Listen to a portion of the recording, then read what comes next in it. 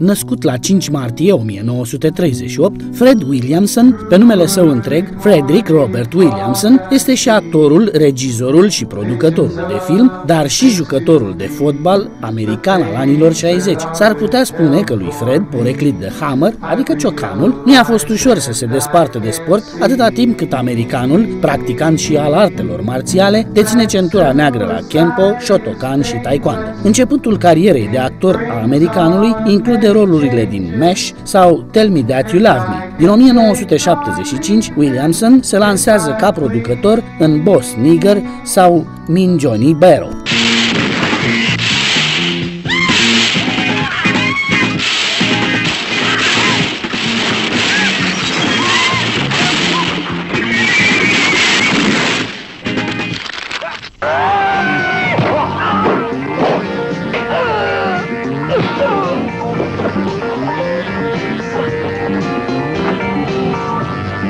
Let's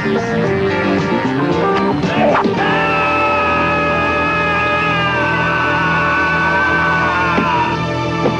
Începând din anii 70, Williamson devine regizor activ și pe la jumătatea acelorași ani se mută la Roma unde își creează propria companie. Producător este acum al peliculei Adios Amigo 1976, aceasta alăturându-se titlurilor Boss Nigger și Min Johnny Barrow. În calitate de regizor, Williamson și-a pus semnătura pe aproximativ 20 de filme, iar eforturile sale mai recente în activitatea de producător și regizor au continuat să rămână active.